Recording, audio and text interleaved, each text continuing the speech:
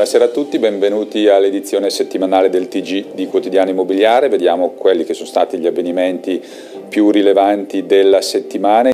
Passiamo ora a parlare degli agenti immobiliari e della rivoluzione che riguarda il nuovo patentino che sarà introdotto a partire dalla prima metà del 2012. Paolo Righi, presidente della FIAIP, ha espresso la piena soddisfazione per la prossima entrata in vigore del patentino per gli agenti immobiliari, una novità ben accolta dall'associazione che si è prodigata da più di un anno nella lotta per la regolarizzazione della professione a garanzia sia dei clienti sia degli agenti che operano regolarmente. Entro maggio dunque questa novità sarà reale dopo la pubblicazione del decreto del Ministero dello Sviluppo Economico avvenuta in data 13 gennaio. Gli agenti immobiliari che sono operativi avranno un anno di tempo per adeguarsi, sia per quanto riguarda il tesserino che per la scia di inizio attività. Secondo Righi questa procedura aiuterà anche a eliminare il sommerso. Diamo atto al Governo, ha detto il Presidente della FIAIPA Quotidiano Immobiliare, perché ha saputo recepire le istanze degli agenti e percepire il cambiamento in atto ed è anche alla nostra federazione perché